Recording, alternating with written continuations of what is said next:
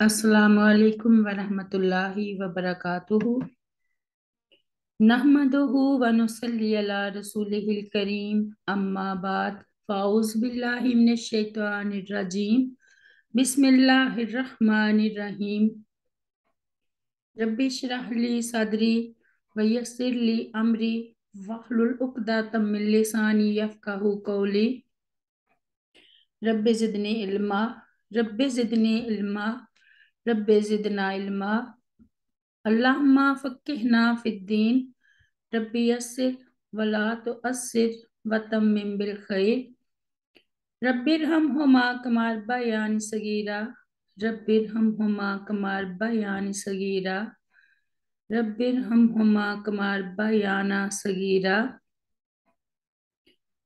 आज हम सूरत अल अराफ की आयत नंबर 43 से पढ़ेंगे, इंशाअल्लाह। बिस्मिल्लाहिर्रहमानिर्रहीम। वनजाना और हम निकाल देंगे माँ, जो होगा। फ़ी सुदूरिहिम, उनके सीनों में मिन गिल्लिन, कोई कीना। ताजरी बहती होंगी, मिन ताहती ही मुल अनहारू उनके नीचे से नहरें।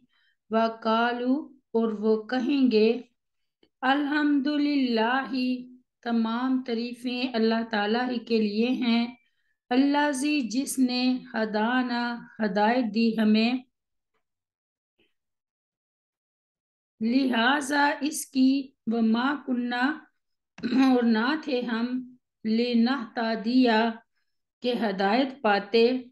लौला अगर ना होती ये बात अनहदान अल्लाह के हदायत दी हमें अल्लाह ताला ने, लकद अलबत्ता तहकीक जात आए थे रसूलु, रसूल, रब्बिना हमारे रब के बिल हक की हक के साथ व नूदू और वो आवाज़ दिए जाएँगे, अन के तिल को मुल जन्नातु, ये जन्नत है पुरिस तो मुहा तुम वारस बनाए गए हो इसके बीमा बसबब इसके जो कुन तुम थे, तुम तामलून अमल करते।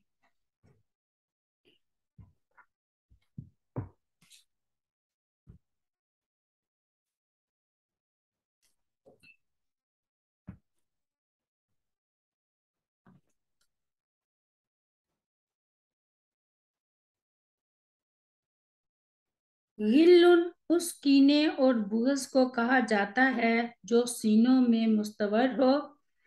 अल्लाह ताला अहले जन्नत पर यह इनाम भी फरमाएगा कि उनके सीनों में एक दूसरे के खिलाफ बुगजो अदावत के जो जज्बात होंगे, वो दूर कर देगा।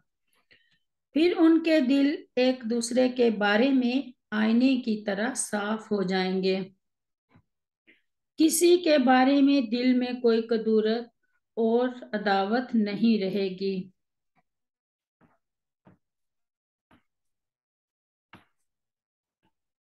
जन्नत की नेमतों में से एक नेमत यह भी होगी कि अल्लाह ताला जन्नतियों के दिलों से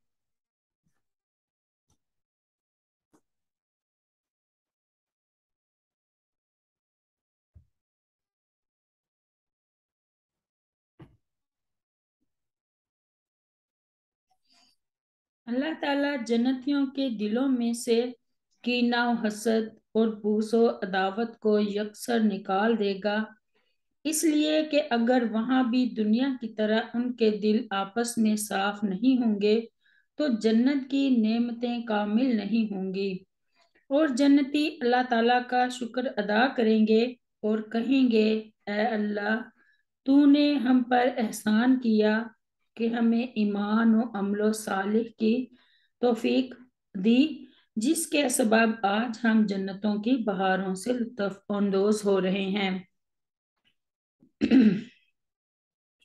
वनजाना माफ़ी सुदूरी हिम हिम मिन गिल्लिन, यानी हम उनके सीनों को हसद और बुगज से पाक कर देंगे। इरशाद रब्बानी है इन्नल मुत्तकीना फ़ी जन्नातिम व उयून, उदखुलूहा बेसलामिन आमिनीन व नजाना माफ़ी सुदूरिहिम मिन गिल्लिन इखवानन अला सूरत अल हजर में अल्लाह ताला फरमाता है, बेशक मुत्तकी लोग बागों और चश्मों में होंगे, इसमें सलामती के साथ बेखौफ होकर दाखिल हो जाओ और हम उनके सीनों में जो भी कीना है निकाल देंगे। भाई भाई बनकर तख्तों पर आमने सामने बैठे होंगे। सैदना अबू हुरैरा रज़ी अल्लाह बयान करते हैं कि रसूलुल्लाह सल्लल्लाहु अलैहि वसल्लम ने फरमाया, सबसे पहली जमात जो जन्नत में दाखिल होगी, उनकी सूरतें चौदहवीं रात के चाँद की मानिंद होंगी। वो ना उसमें थूकेंगे, ना उनकी नाक से कोई अलाइश आएगी और ना वो पेशाब व पखाना करेंगे। उनके बर्तन सोने के होंगे कंगे सोने चांदी के होंगे। अंगीठियों का ईंधन औद का होगा, पसीना मुश्क जैसा खुशबूदार होगा और हर शख्स की दो बीवियाँ होंगी। जिनका हुसन ऐसा होगा कि पिंडलियों का गुदा गोश्त के ऊपर से दिखाई देगा। ना जन्नतियों में आपस में इख्तलाफ होगा और ना बुगजो अनाद उनके दिल एक होंगे। और वो सुबह शाम अल्लाह ताला की पाकी तस्बी तहलील में मशगूल रहा करेंगे। बुखारी किताब की रवायत है। सैदना अबू सईद खुदरी रज़ी अल्लाह अनहु बयान करते हैं कि रसूलुल्लाह सल्लल्लाहु अलैहि वसल्लम ने फरमाया, जब मोमिन दोजक से नजात पा जाएँगे तो उन्हें दोजक और जन्नत के दरमियान एक पुल पर खड़ा किया जाएगा। वहाँ वो आपस की उन ज्यादतियों का बदला लेंगे जो दुनिया में उन्होंने एक दूसरे पर की थी। जहाँ तक कि जब उन्हें पाक साफ़ कर दिया जाएगा तो फिर जन्नत में दाखिल होने की इजाज़त दे दी जाएगी। उस जाति गिरामी की कसम, जिसके दस्ते मुबारक में मोहम्मद सल्लल्लाहु अलैहि वसल्लम की जान है, जन्नती अपनी, अपने जन्नत के घर को दुनिया के घर से कहीं ज़्यादा पहचानता होगा। बुखारी किताब की रवायत है। वकालहमदुल्लाजी हदाना लिहाजा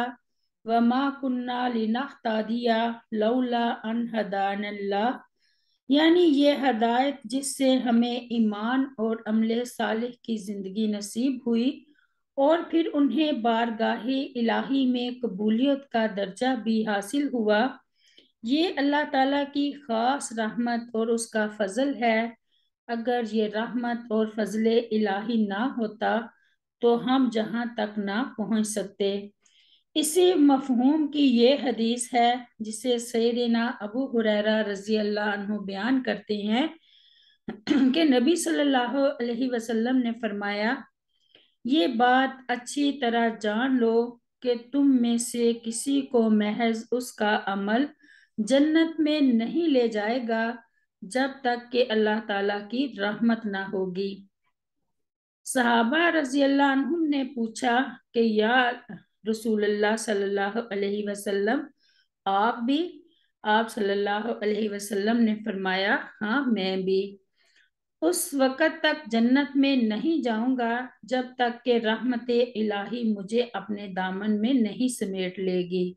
बुखारी किताब की रवायत है। वनूदु अन तिलकु मुल जन्नातु ओरिस्तुमुहा बिहा कुंतुम तअमलून।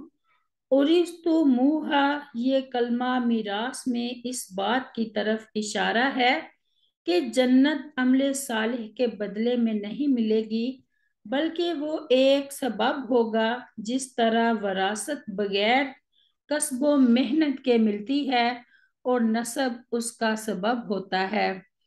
आयत के इस हिस्से की तफसीर करते हुए सैदिना अबू सईद खुदरी और सैदिना अबू हुरैरा रज़ी अल्लाह ने बयान किया कि अलैहि वसल्लम ने फरमाया, एक मुनादी निदा देगा, ए अहले जन्नत, अब तुम तंदुरुस्त रहोगे, कभी बीमार नहीं पड़ोगे, तुम ज़िंदा रहोगे, तुम्हें कभी मौत नहीं आएगी, तुम जवान रहोगे तुम्हें कभी बुढ़ापा नहीं आएगा। तुम ऐश में ज़िंदगी गुजारोगे। तुम्हें कभी हजनो मलाल नहीं होगा। यही मतलब है अल्लाह ताला के इस फरमान का, वनूदू अंतिल कुमुल जन्नातु उरिस्तुमुहा बिमा कुन तुम तमलून और उन्हें आवाज़ दी जाएगी कि यही वो जन्नत है जिसके वारस तुम इसकी वजह से बनाए गए हो। जो तुम किया करते थे। अल्लाह ताला से हम दुआ करते हैं कि अल्लाह रब्बुल आलमीन हमें नेक अमल करने की तौफीक अता फरमाए और हक बात कहने की तौफीक अता फरमाए और अपने आप को संवारने की, राह हक पर चलने की तौफीक अता फरमाए ताकि कल क़यामत के दिन हम भी जन्नत के वारस बन सकें। अल्लाह ताला हमारे अमाल हमसे कबूल फरमाए और हमें सीधी राह पर चलाए। आमीन या रब्बुल आलमीन। रब्बी फिरली वाले वाले दैया वाले मन दखला बैतिया मुमिनम वालिल मुमिनीना वल मुमिनात। सुबहाना रब्बी का रब्बिल इज़्ज़त अम्मा यसिफून। वसलामुन अलल मुरसलीन वरहमल रब्बिल